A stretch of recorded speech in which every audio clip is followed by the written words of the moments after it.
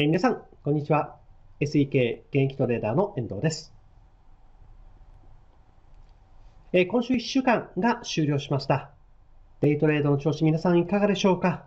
今週大きく利益捉えた方、なかなかちょっと利益少なかったという方もご報告いただいております。損傷利大ということがあります。損失をとにかく限定させる。限定させながら、スタンスは利を伸ばしていくと。買いにしても、売りにしてもですね、この思考を守っていただければ、間違いなくトータルで勝つことは可能ですから、諦めず利を取っていきましょう。コツコツロスカットしながらですね、え進んでいただければと思います。あと、チャンスがないときには絶対にやらない。これをですね、守っていただきたいと思います。で、デイトレード専用銘柄につきまして、皆さん受け取っていただいておりますでしょうか毎日無料にて、翌営業日用のデイトレ専用注目銘柄をお送りしております。まだ受け取っていないという方、今日初めてこの動画をご覧になったという方は、今すぐ下の概要欄、リンク先クリックしていただいて、受け取ってください。無料で受け取れます。えでは、今日のですね、内容についてお伝えさせていただきます。え今、こちら真ん中の方にですね、出しています。ストップ高銘柄一覧ということで、まあ、本日3月15日、え12銘柄ほどストップ高となりました。A バランス、ブレインステクノロジー、ヤマダイなどなど、12銘柄が明日、つまり週明け月曜日用として使える銘柄何銘柄あるんでしょうかということでですね、えこれらを一つ一つ分析をしたいようと思います。では、早速12銘柄一個一個見ていきましょう。まず一つ目、3856A バランスです。で、この材料が出ましたね。えー決算内容、昨日14日4時半に決算発表が出ました。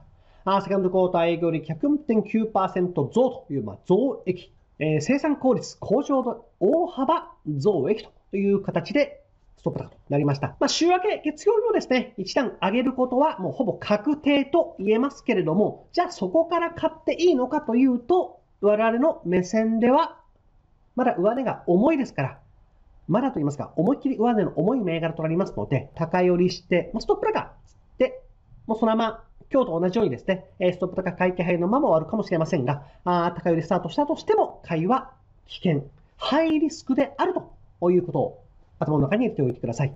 えー二つ目、4075ブレインズテクノロジー、今日ストップ高となりました。1095円プラス15.87%。昨日、陰線、まあ、連日陰線出していましたが、今日、ストップ高という形で着地をしております。えこちらも昨日14日3時の決算内容を交換した、ま、黒字転換という形でですね、えストップ高となりました。週明け月曜日をですね、ギャップアップスタートすることがほぼ確定と言っても良いのではないでしょうか。で、そこから新たに買うのも我々はいたしません。理由は上値が重いからです。ギャップアップでスタートスタートしても一気に売りに押されることも考えられると。えーブレインズテクノロジーは×。そして3つ目。7426山台。また再び出てきましたね。えー先月は連日ストップ高、2月ですね。連日ストップ高どんどんどんどん上げていきました。まあ、宮城の企業になります。3080円プラス19.56%。まあ、その後ストップ安もつけながら。ですので、まあ、こういう大きくですね、ボラの高い動きをする銘柄の一つ。まあ、指定色の強い銘柄ですね。出来高が換算、板もスカスカとなっております。売るに売れなくなる。まあ、もしくは大きなロスカットになってしまう危険性があるということでですね、山台に関しましては、まずそもそも手を出さない銘柄と。4つ目、4261アジアクエスト。今日ストップ高となりました。24万1200株。出来高多くはありませんので、まあ、そもそも×ということになります。まあ、板飛んでますよね、値が。で、さらに、上値が重い銘柄となります。過去を遡って見ていただきますと、まあ、上場してからの高値付近ですね、まあ、7000円の頃、8000円の頃の間でですね、まあ、持っている方、まあ、もっと、もっと言うとですね、まあ、5000円から8000円の間ぐらいで、えー高値を掴んでいる方々が結構アジアクエストいますので、無理に手を出さなくても良い。まあ、2つの意味でですね、そもそも出来高少ない。あと、高値掴んでいる人たちがまだまだアジアクエストいるということになりますので、月曜日としてはとなります。まあ、今日の勢いは強かったですけどね。だからといって、今日のようにこう、一気に陽線出して、ストップ高なりましたが、ひとたび崩れると、もう大変なことがありますからね。まあ、例えば、今日でしたらアルバイトタイムズとかもそうですよね。ストップ高じゃないですけども、2341。例えば、出しましょう。こういう銘柄今日。2341。こういう風になってもおかしくない銘柄です。これです。個人投資家かなり入りましたよ、今日。今日、えっ、ー、とですね、あの、場中見ていたんですけども、まあ、そもそも上値の重い銘柄なので、こうなるだろうということで、まあ、本当はちょっと売りもですね、できたら面白かったんですけども、やりませんでした。出来高1308万、7700株。え今日5万株以上ですね、189円で5万株買った方、149円ですから、200万円の含み損ですよ。たった1日で200万円。大きいですよね。それ以外にも、もう190円どころで1万株とか普通に買ってるんですよね。個人投資家。まだまだ行くだろうと。ストップ高行く行くだろうと。今日194円がストップ高なんですよ。この銘柄。だけども今日の高値は192円止まりです。まだまだ行くだろうと。ここまで大きな要線出したら行くでしょう。じゃあ下がったところ188円、185円で買った人たち今買っちゃいけないんです。えこういう風になりかねない銘柄となっておりますので、十分に皆さんも気をつけていただければと思います。5銘柄目、5029サークレイス。あ、これもそうですね。まさに。ストップ高つけて結局上髭です。上髭商用線で着地。プラス0.63%ということですね。出来高44万6200株、上髭。で、これもトレンド、もっと大きな流れ、上場してからの大きな流れで見ると、まあ、ダウントレンドですね。高安切り下げの銘柄となっておりますので、えこういったサークレスのような銘柄には手を出さないようにしてください。6銘柄目、4265IGS。まあ、これもそうですね。上髭ということです。ストップ高つけたのに結果的に売りに押されたというところですね。インスティテューション・フォア・グローバル・ササエティ。あのー、この代表の方が、CEO の方が、え、大大学院の、大学でしょうか？大学院の特任教授ですかね。えやられている、まあ、企業になります。まあ、結論から言うと、×となります。出来高163万2300株の中で、まあ、上値の重い銘柄となりますから、まあ、案の定下げたという形になります。手を出してはいけない銘柄ということで、月曜日落としはなしになります。7銘柄目、1436、ト。これも一緒ですね。上髭陰線です。まあ、先ほどアルバイトタイム出しましたけれど、全く同様ですね。そもそもこれも罠の重い銘柄となりますので、月曜日用としては×となります。8銘柄目、5010日本製炉です。ろうそくといいますか、ワックスですね。ワックスの専業メーカーとなります。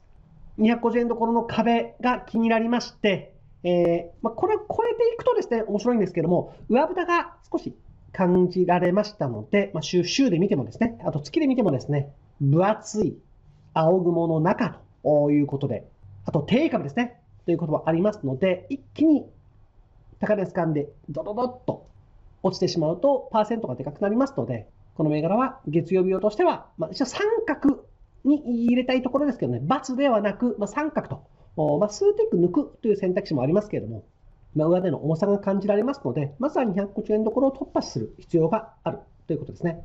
で、今日ストップ高246円つけてますけれども、その後も売りに押されます。大きく売りに押されて200円割ったんですよ。ちょっとそれがやはり気になるかなというところで、×に近い、ま、三角といったところでしょうかね。まあ、どうしてもこの日本製炉をやりたいという方はやっていただければと思いますが、万が一、思惑と違ったら即切るようにしてください。まあ、×に近い三角というところですね。えそして、9銘柄目、6578N リンクスです。今日ストップ高。350円低株です。出来高237万9300株。これもですね、上値の重い銘柄なんですね。あのー、もっと対極的な目線で見ると、移動平均線が実は下を向いてるんです。そもそも×となります。未約証分が53万3000株ありますので、えー、週明け月曜日一段上げることも考えられますけれども、あとは、ま、陰線ですね、高寄りしてから、より点陰線を出す危険性もありますので、えー、リンクス無理に手を出さない。ようにしていただいた方が良い。だったら他にいいのありますので、他の銘柄に手を出した方が良いという結論になります。エルリンクスも週明けます。となります。10銘柄目、9237、エミンメンです。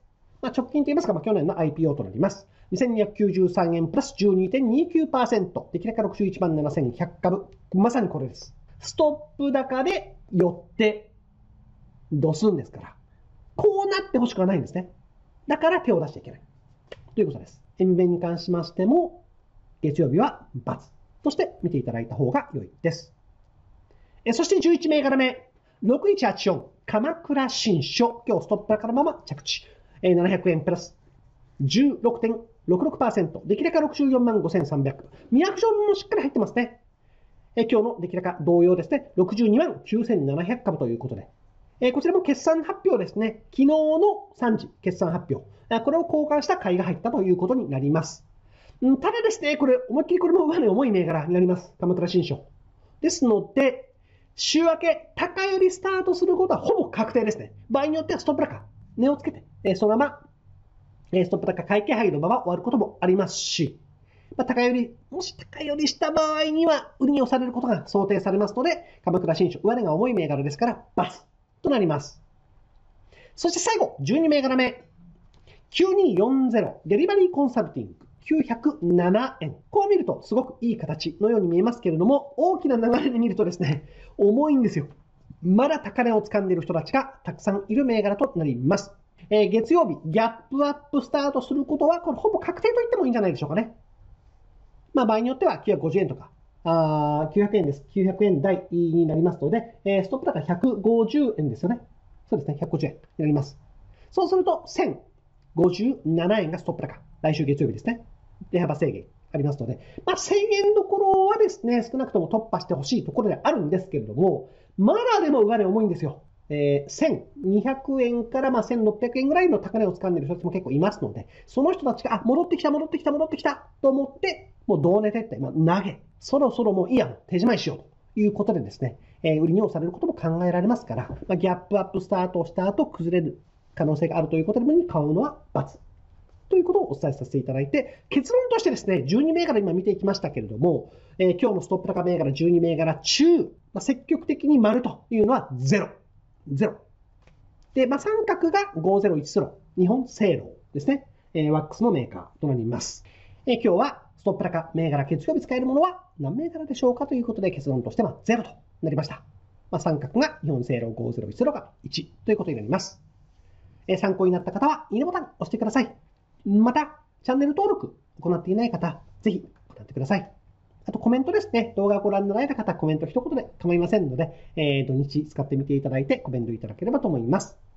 えー、また、デイトレード専用銘柄、まだ受け取っていないという方、今日初めてこの動画を見たという方は、下に概要欄ありますので、リンク先クリックしていただいて、無料で毎日デイトレ専用銘柄をお送りしておりますのでね、ぜひご登録ください。そして参考にしてください。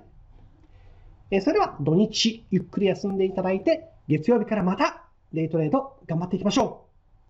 では、失礼します。